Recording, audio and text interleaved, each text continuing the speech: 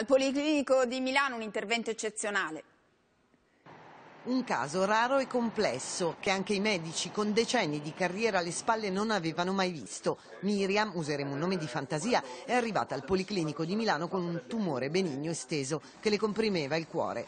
Se ne erano accorti i ginecologi perché la bimba è ancora nella pancia. Come prima cosa, all'ottavo mese di gestazione è stata trattata con una laser terapia passando attraverso l'utero per bloccare i vasi sanguigni evitando che il tumore si ingrandisse ulteriormente. La massa premeva anche su trachea e polmoni. La paura è che Miriam, nascendo, non riesca a respirare. Per questo è stata adottata una procedura che consiste nell'estrarre il neonato solo parzialmente dall'utero e solo dopo averlo intubato lo si fa nascere completamente tagliando il cordone ombelicale. Al momento della nascita abbiamo adottato una tecnica nuova di rianimazione che permette al bambino di stare ancora attaccato alla placenta e quindi avere lo scambio dei gas dell'ossigeno con la placenta, mentre noi intubiamo il bambino e garantiamo la pervietà delle vie aeree. Visto che reagiva bene in terapia intensiva, Miriam è stata operata soli sei giorni di vita per rimuovere la massa tumorale che era doppia rispetto al suo cuore. Insieme al cardiochirurgo Pomè del Policlinico di San Donato abbiamo dovuto aprire il torace,